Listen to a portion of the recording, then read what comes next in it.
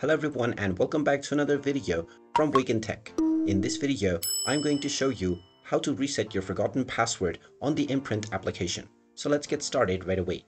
First of all, open up the Imprint application on your device. And if you haven't logged into your account already, you will see the Get Started as well as the Login button. Tap on the Login button and you will be asked to choose your credential method.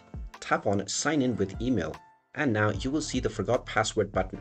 Go ahead and tap on it and then you will be asked to enter your email address. Type in the email address that is associated with your account and then click on the Reset Password button. Once you tap on this, you will be asked to check your inbox to find a verification code or authentication link to click on in order to reset your password. Use this code or link and you will be allowed to create a new password for your account. Type in your desired new password and then tap on the reset password button and now your password will successfully be reset and you can use your new password along with your original email address in order to log back into your account. And there you have it. That is how easy it is to reset your forgotten password on Imprint. If you find this video helpful, make sure you hit that like button and subscribe to our channel if you haven't done so already.